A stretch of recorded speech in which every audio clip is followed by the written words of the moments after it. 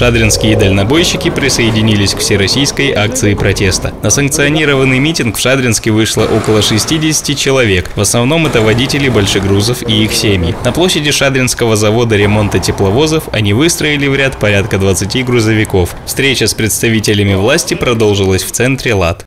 Э, у нас э, протяженность дорог большая, практически любой товар, он все равно так или иначе он проезжает по федеральной трассе. То есть по все товары придется заключить эту стоимость, да? Соответственно, что это при, приведет к повышению цен.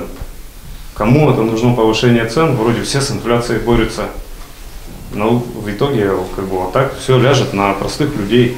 Ранее сообщалось, что к 15 ноября текущего года готовилось положение, в соответствии с которым за проезд грузовых автомобилей с разрешенной массой более 12 тонн по всем федеральным автодорогам общего пользования будет взиматься плата в счет возмещения вреда, наносимого дорогам. По расчетам правительства, проезд одного километра пути по федеральным трассам обойдется транспортным компаниям в 3 рубля 73 копейки. Учитывая, что один грузовик проезжает в среднем 10 тысяч километров в месяц, то одному водителю за право проезда по федеральной трассе придется ежемесячно выкладывать порядка 37 тысяч рублей. По самым неблагоприятным прогнозам, это приведет к разорению небольших компаний-грузоперевозчиков, резкому росту цен на грузоперевозки, а вместе с этим и цен на продукты питания и другие перевозимые товары. Введение оплаты за проезд грузового транспорта по федеральным трассам вызвало негодование водителей-дальнобойщиков. Протестные акции прокатились по всей стране, от Дона до Байкала. Зауральские водители также не стали исключением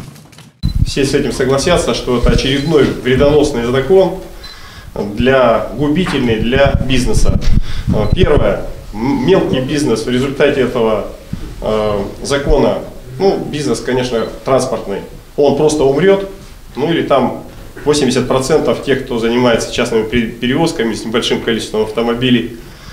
А для крупных предприятий это не что иное, как правильно сказали, вид налога. Э, взяты у людей очень много кредитов, э, люди закредитованные, то есть они невозможно э, как бы отдать эти кредиты, а тут еще предлагают, прежде чем ехать, значит вначале нужно заплатить за дороги. А что с машиной случится там? Вдруг та же машина сломалась, как это все будет выглядеть? Это э, один вопрос. Еще вопрос такой, налогообложение. Куда эти э, деньги, которые э, как бы планируются, куда их списывать? Митинги проходили мирно, однако протестующие были настроены весьма серьезно. В случае, если до 15 ноября постановление не будет отменено, грузоперевозчики намеревались отказаться от работы. Сгоряча раздавались реплики о перекрытии трасс, по примеру своих коллег из других регионов страны. Инициаторы правильно сделали. Вот те проблемы, те вопросы, которые каждого из нас касаются, объединили, цивилизованным образом отправили. Держим этот вопрос на контроле.